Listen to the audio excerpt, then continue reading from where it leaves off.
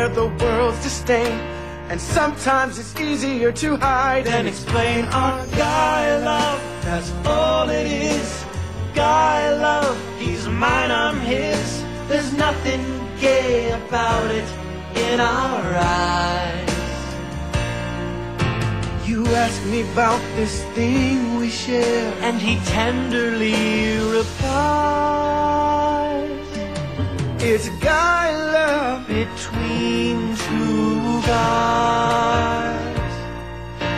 We're closer than the average man and wife. That's why our matching bracelets say Turk and JD. You know I'll stick by you for the rest of my life. You're the only man who's ever been inside of me. Whoa, whoa, I just took out his appendix.